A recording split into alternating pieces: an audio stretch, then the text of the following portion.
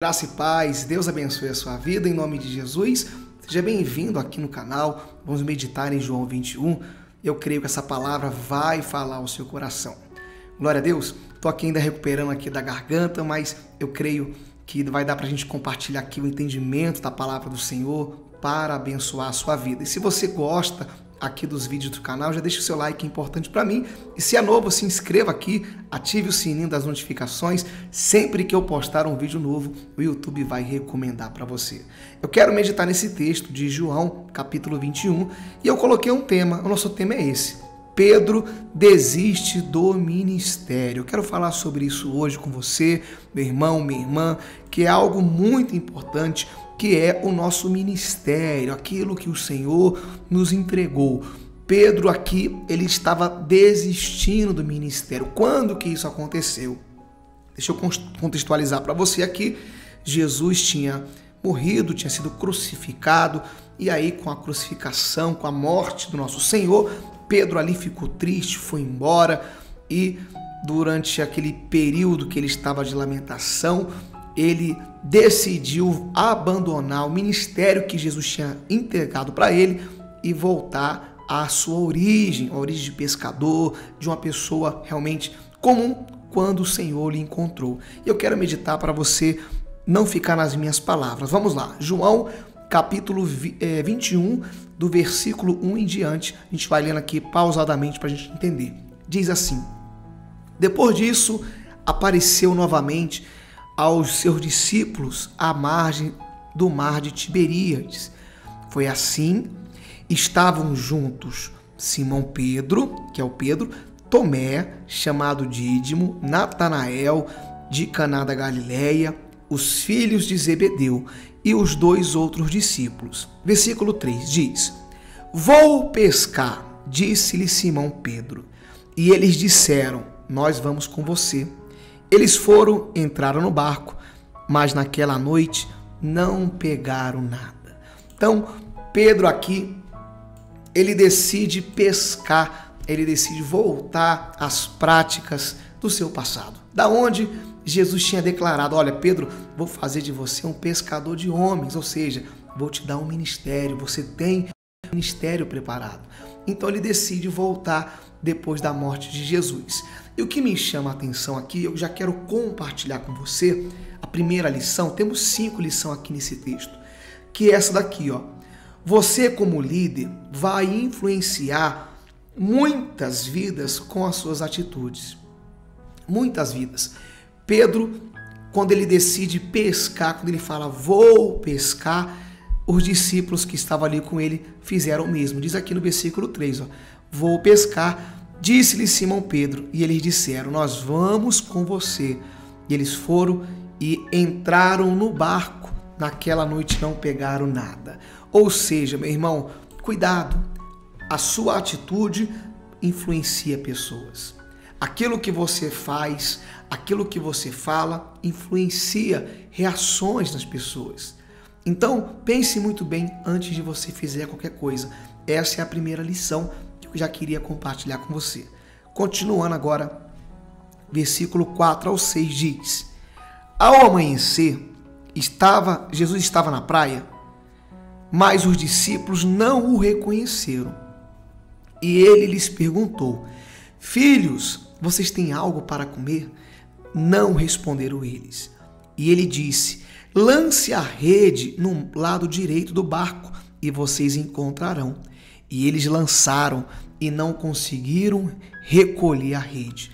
Tal era a quantidade de peixes. Então Jesus aparece ali para eles, eles não reconheceram Jesus, diz aqui o texto, e Jesus pergunta: Vocês têm algo para comer?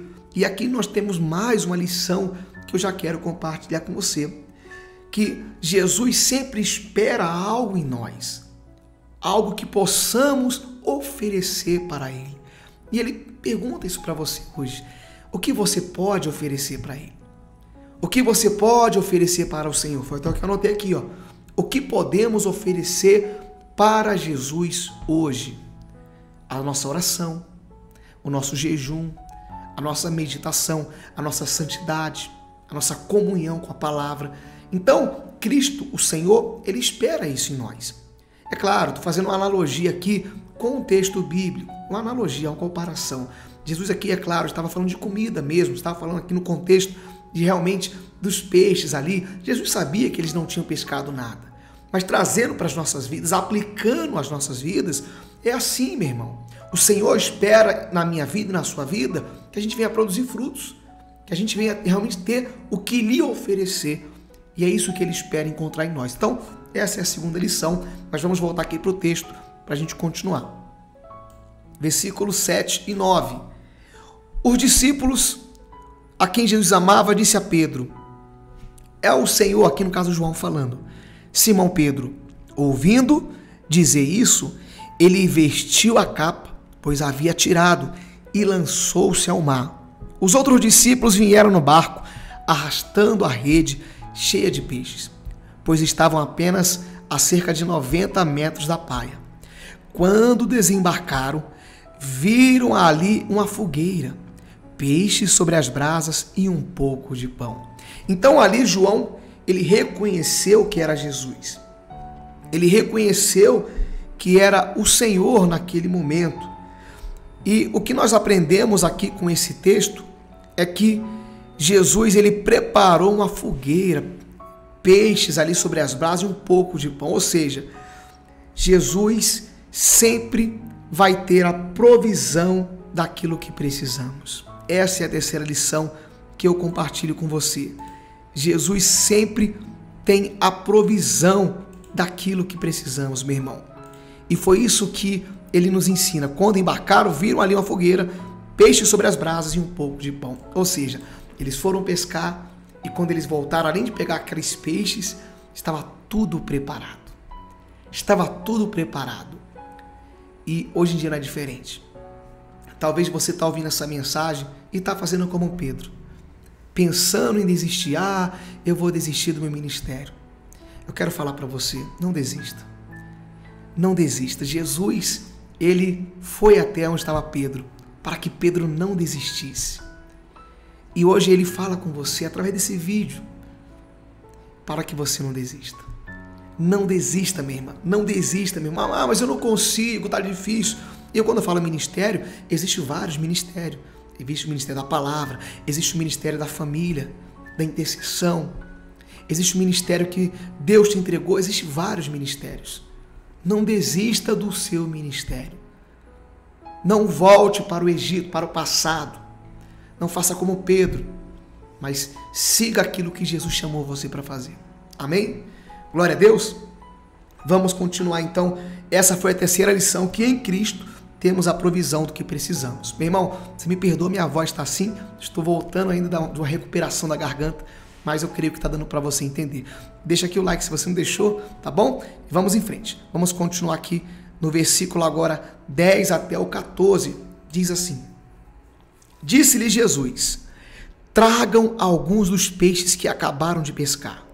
Simão Pedro entrou no barco e arrastou a rede para a praia e ela estava cheia, tinha 153 grandes peixes. Meu irmão, quando Deus faz algo, ele faz realmente algo extraordinário. Embora houvesse tantos peixes, a rede não se rompeu. E Jesus lhe disse: Venham comer. Nenhum dos discípulos tinha coragem de lhe perguntar: Quem és tu? Pois sabiam que era o Senhor. Versículo 13: Jesus, aproximando-se, tomou o pão e deu a eles, fazendo o mesmo com o peixe. Esta foi a terceira vez que Jesus apareceu aos seus discípulos, depois que ressuscitou dos mortos. Então, o que me chama a atenção aqui nesse verso 13, que diz: ó, Jesus aproximou, tomou o pão e deu a eles, fazendo o mesmo com o peixe. Ou seja, Jesus tem o alimento que nós precisamos. Trazendo isso para as nossas vidas, meu irmão. Se você está fraco, se você está desanimado, pensando em desistir, em Cristo você tem o alimento que você precisa. É o pão, é o peixe, ou seja, a palavra, a vida com Cristo, a força que você precisa. É isso que está te faltando? É isso que está faltando para você ficar firme? Então, é Cristo. Vai até Ele. Busque, ore, fale com Ele e Ele vai te fortalecer. Amém? Era isso que Jesus estava ensinando por discípulos. E é isso que trazendo e aplicando em nossas vidas podemos aprender. Que Cristo, que o Senhor, Ele tem o alimento que nós precisamos. Vamos continuar aqui a nossa leitura. E aí no verso 15 vem um dos textos mais conhecidos e eu quero ler para você. Diz assim: Depois que comeram, Jesus perguntou a Simão, Pedro: Simão, filho de João, você me ama realmente mais do que a estes? Disse ele: Sim, Senhor, tu sabes que eu te amo. Disse Jesus: Cuide dos meus cordeiros. Jesus é bem específico aqui, meu irmão, minha irmã, e não perde tempo. Simão, você me ama realmente? Simão, tem certeza desse amor? Então cuide dos meus cordeiros. Ou seja, Simão, continua fazendo o que eu te pedi. Não desista do ministério. E aí Jesus vai falar isso durante três vezes. E aí vem na, no 16, a mesma coisa. Novamente Jesus disse, Simão, filho de João, você me ama realmente? Respondeu ele, sim, Senhor, tu sabes que eu te amo. Disse Jesus, pastorei minhas ovelhas. Ele já até muda a palavra. Na primeira ele fala cuide, na segunda ele fala pastorei, seja pastor das ovelhas que eu te entreguei. E aí, continuando no 17, ele diz: pela terceira vez, lhe disse: Simão, filho de João, você me ama? E Pedro ficou magoado, porque Jesus ter perguntado pela terceira vez: Você me ama? E ele disse: Senhor, tu sabes todas as coisas e sabes que eu te amo. Disse-lhe Jesus: Cuide das minhas ovelhas. Ou seja, Pedro, faça o que eu te chamei para fazer. Não desista do seu ministério. E essa é a quinta e última lição que eu compartilho com você. Quem ama a Cristo deve cumprir o seu ministério. Ah, meu irmão, eu amo o Senhor, então cumpra o seu ministério. Eu amo Jesus, cumpra o seu ministério. Pastoreie as ovelhas. Se você é um pastor, pastoreie suas ovelhas, pastor. Se você é um obreiro, cuide das ovelhas. Se o seu ministério é de louvor, faça o melhor no louvor. Se é intercessão, faça o melhor na intercessão. Se é um ciclo de oração, faça o melhor no ciclo de oração. Aonde for. Não desista. Essa é a palavra que eu queria compartilhar com você. Amém? Guarde isso. Eu creio que o Espírito Santo falou com você, meu irmão, minha irmã. E eu tenho a certeza que hoje o Senhor aqui está fortalecendo muitos irmãos que estavam pensando em desistir. Não desista. Glória a Deus. Vamos orar? Vamos falar com Deus? Eu quero orar com você. Pai, obrigado por esse momento de reflexão. Eu creio que o Senhor falou com esse meu irmão, com essa minha irmã, Pai. Com essa pessoa que hoje estava pensando em desistir. E através dessa palavra vai ficar firme. Ah, Jesus, isso era maravilhoso. O Senhor falou com ele, Pai. O Senhor falou com ela, tenho a certeza. Pai, abençoa a vida desse meu irmão, dessa minha irmã, Pai. E que eles possam, Pai, executar o ministério que o Senhor entregou para eles. Em nome de Jesus. E você que crê, diga amém. Amém? Glória a Deus. Amém? Graças a Deus. Que palavra, irmãos. Olha, eu quero agradecer a todos os irmãos que colocaram aqui melhoras, né? Que estão orando pela minha voz. Já estou recuperando, graças a Deus. Estou um pouco fã ainda, dá para perceber aqui no vídeo. Mas já está dando para gravar. Deus abençoe a sua vida grandemente. Compartilhe esse vídeo. Conhece alguém que está pensando em desistir? Manda para aquela pessoa. Abençoe aquela vida. Fique na paz do Senhor Jesus Cristo. Que Ele te abençoe. Até o nosso próximo vídeo.